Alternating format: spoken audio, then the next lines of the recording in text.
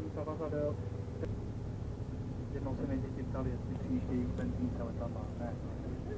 Palivo eh, cisterny přijíždějí k letadlu.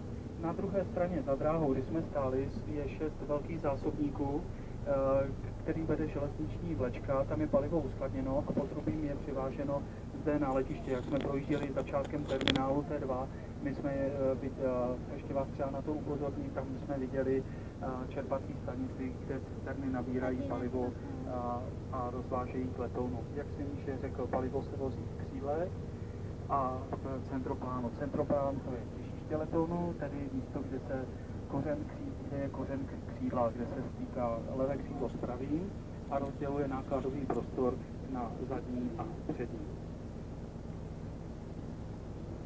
Vepředu, když se podíváte v podvozkové noze, tak eh, vidíte oranžové kabely.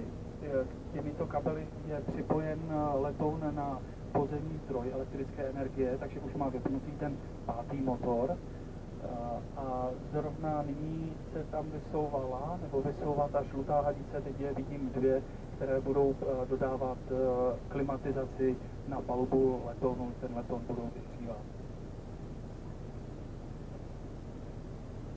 Tedy samotná společnost Emirates, jak jsem se již zmínil, po pětiletém úspěšném působení zde na českém trhu nasadila tento velkokapacitní letoun, protože ten počet cestujících dosahuje až k jednomu tisíci denně přepravených cestujících mezi Emiráty a Českou republikou a naopak.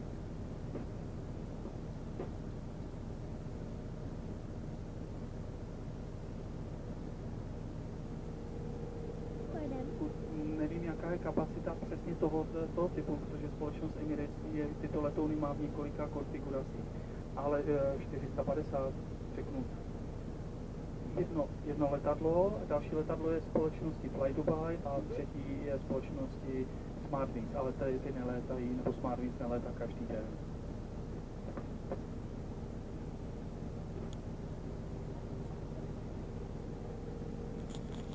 No, spotřebu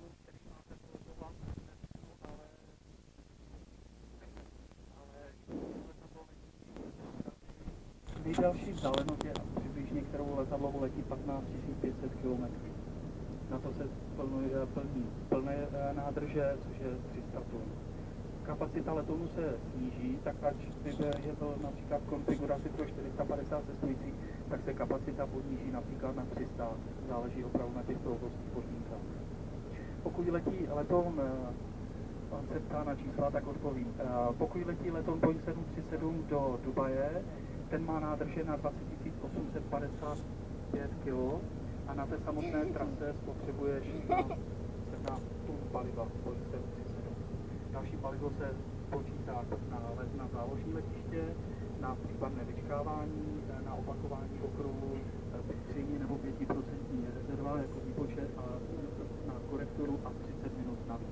Takže my jsme na 20 tunách u menších letadel.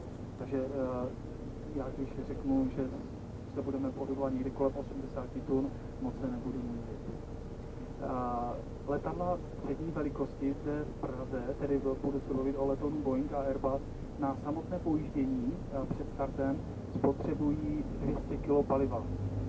Myslí, kolik myslíte, že toto letadlo počítá e, paliva na pojíždění zde na rozvínském letišti?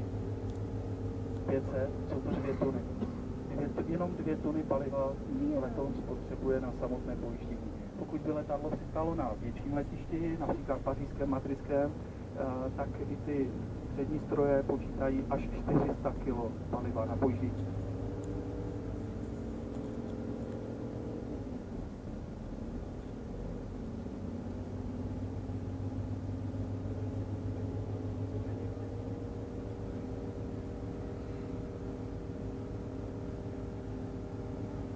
Tak, my už vidíme tedy cateringové vozidla a přijíždí první cisterna, která bude doplňovat palivo k letounu.